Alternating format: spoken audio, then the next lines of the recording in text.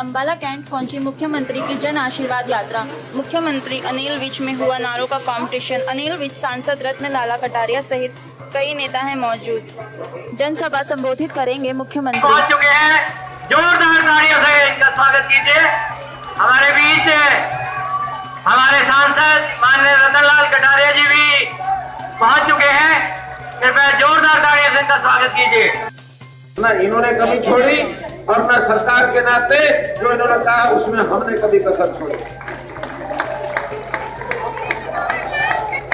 अंबाला छावनी, हालाँकि एक छोटी विधानसभा है, बहुत बड़ी विधानसभा नहीं, फिर भी 1300 करोड़ रुपया पिछले चार साल के अंदर यहाँ लग चुका है, तेरह करोड़ रुपया।